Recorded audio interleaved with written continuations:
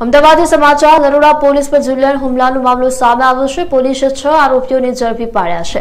Zone ચાર ACB Naroda police અને crime branch દ્વારા સંયુક્ત ઓપરેશન કરી આરોપીઓને ઝડપી લેવાયા છે. તો કાયદાના સંઘર્ષમાં આવેલ એક કિશોર પણ પકડાયો છે. ઘટના અંગે પોલીસે આરોપીઓને સાથે રાખી પંચનામું કર્યું છે. આરોપીઓની ગેરકાયદેસર ઊભી કરાયેલી મિલકત તોડી પાડવા અંગે પણ એએમસીને રિપોર્ટ કરાયો છે. તો અમદાવાદ, નરોડા પોલીસ પર થયેલ જીવલેણ હુમલાનો મામલો સામે આવ્યો છે. પોલીસે છ આરોપીઓને ઝડપી લીધા છે. ઝોન ચાર એલસીબી નરોડા પોલીસ અને ક્રાઇમ બ્રાન્ચ દ્વારા સંયુક્ત ઓપરેશન કરી આરોપીઓને ઝડપી લેવામાં આવ્યા છે.